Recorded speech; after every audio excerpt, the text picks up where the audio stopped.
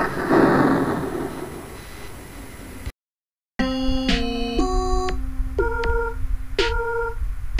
んばんは、おばちゃんです。現在の金婚西野さんね、やばいことになってるらしいねよ。なんかあの、オンラインサロンの会員数が激減で月にね、300万円減収になったんだって。西野のオンラインサロン、西野昭弘エンタメ研究所。わあ、いや、なんで笑っちゃったの、うん、不思議ね。エンタメ研究所。は2016年に開設。2020年の全盛期にはオンラインサロンの会員数は7万人を超えていた。しかし、現在の夢が覚めてない方4万1000人ほど、去年末から、月平均で300、あ、3000人以上が解約している計算。で、月額980円の会費が300人減ってるから、単純計算に一月に300万円の減収となってる。ええあのー、ちょっとある芸人の方？あのー、千鳥大悟という人がね、こんなこと言ってんのよ。捕まってないだけの詐欺師って。あ、なんで笑っちゃったんだろう。そんなことないわよ。ねえ。いや、大悟は何？天才なの？うん、いやー、みんななんていうのかな。夢から覚めてんのかしら。うん、っていうか、この夢は普通見ないんじゃないかな。うん、いや、よくわからないけど、千鳥大悟大先生とね、今回呼ばせていただきます。うん、千鳥大悟大先生。いいお言葉です。次のね、ニュースやばいのよ。工事業者の男性がね、工具を持ってたんだって。したら、警察がいきなり、軽犯罪法違反で検挙すると言われてね、連行されちゃったのよ。で、取り調べ室で、なんかあの、おティムティムとか、そういうところを触られたり、なんかあの、犯罪性呼ばわりされたっていう事件があったのよ。で、その警視庁の警察官に違法な取り調べ、あの、身体拘束をされたことで、精神的な苦痛を訴えたとして、東京地裁は原告である工事業者の請求を一部認め、東京都に計22万円の支払いを命じたんだって。判決によると、被告は、2019年2月4日午後9時25分頃、都内の路上でね、作業車を止めていたところ、警視庁中野署の警察官に職質されたんだって。その際、だから持ってたわけじゃないの。車内に積んであっただけなのね。あの、車内から工具、ツールナイフやタクティカルペンなどが見つかったことから、携帯の理由を聞かれた上で中野署にね、任意同行をね、求められたんだって。その後、なんか原告のね、男性がね、正当な理由もなく、工具を携帯していたとして取り調べを受けて、鑑識資料の作成や車内の写真撮影などの捜査をね、行ったんだって。で、中野署での捜査が終わって、自宅前に戻ったのは、翌日午前5時頃。っていうことは、連行され多分30分ぐらいだか10時。7時間。6時間か7時間。でそして、同年4月に、嫌疑不十分で不起訴処分となった。そして、原告は、工具は工事業者として所持していたのであり、1、職務質問は、ま、違法で、実質強制力を伴う任意同行だった。2、取り調べは深夜に長時間にわたり限度を超えていた。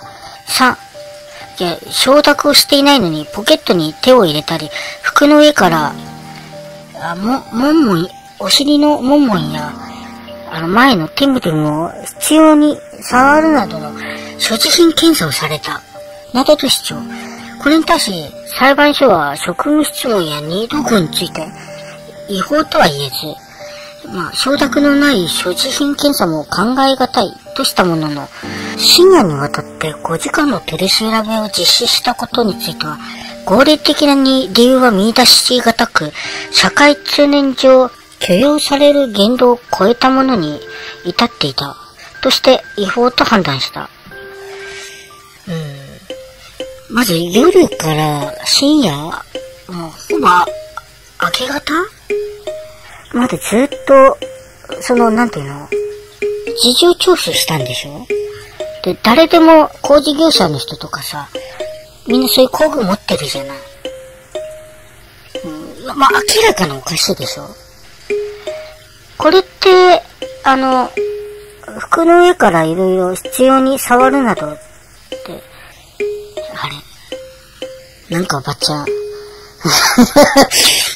れ？なんか、ずびしったわよ、おばちゃん。あらま。で、裁判所では、まあ、考えがたい？って判断っていうか、名探偵の皆さんどう思います？ちょっと、はっきりは言えません。うん。なんか、いろいろ言われる 後から怖いことになるから、言えません。言えませんけど、うん。おばちゃんはなんかずびしった。みんな言わなくてもわかるでしょ。みんなもずびしったでしょ。おばちゃんよく仕事でさ、中野警察署の前通んのよ。なんか全身グッて力入れて通らないといけなくなるのかしら。なんか深い意味はないですよ。うん、なんかちょっとグッて力入れてもうすぐそっから離れる。でもどうしようかしら。グッて力入れるとさ、たまに身が出るときあるじゃん。え、大丈夫？ぐっと力出て見出ちゃったら、あの、ちょっとおどおどしてる時食事されて、お前な、何グミ出してんだよって言われたらどうしよう。い やいや、もう、どう、ぐっと力入れると出ちゃうわよね。ぐ、なんかね、グミがね。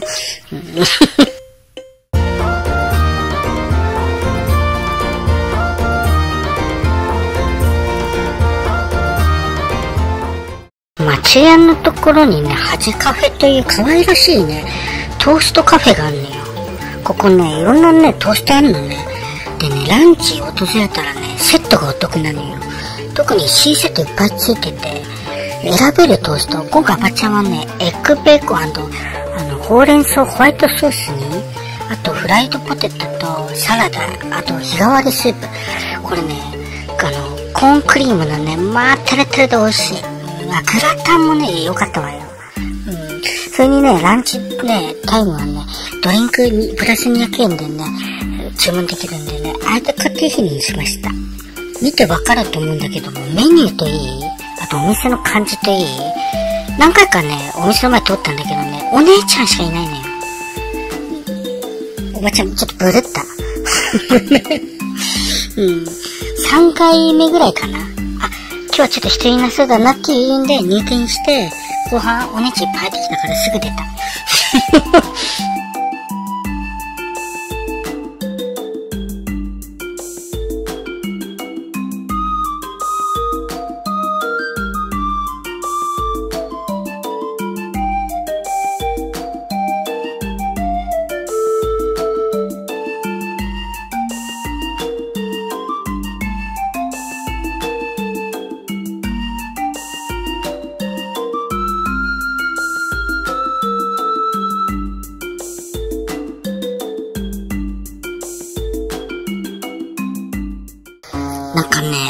ね、若い子の味。あの、濃すぎず、なんか薄すぎず、で、いろんなものを使ってる。いろんななんか香辛料とかで。うん、なんかヤングって感じ。それでね、甘いのも頼んでみた。キャラメルチョコバナナ。これ単品なんですけども。うん、これうまいわ。なんかおばちゃんギャルになったみたい。うん、これ、あの、鴨汁ってバーってかけて食べるんだけど、あんまギャルですわ。うん。いや、でもね、余裕こいてたのはね、ここまで。うん。これを食べ出したぐらいからね、なんかもう10代のお姉ちゃんたちが4人ぐらいで入ってきたのよ。マッハで出たわ。ブリですよ。うん、え、何あの、え、おっさん一人がなんで、え、しかも、キャラメルチョコバナナ食べててどういうことって通報されるかなと思って別にすぐ逃げた。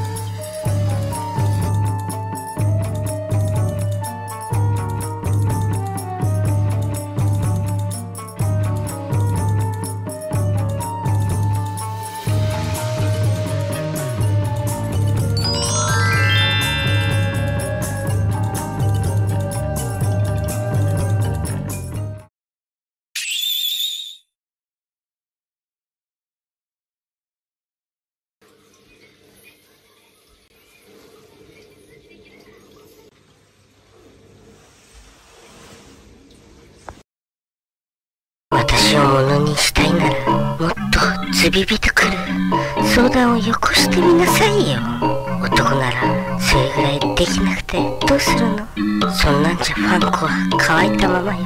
全然乾いたままなんだからね。東京シークラブでは皆様のご相談をお待ちしております。ところでよくある相談が来るんだけど数字の4に「ね」という書き込みがあるのね。あれって味かしら。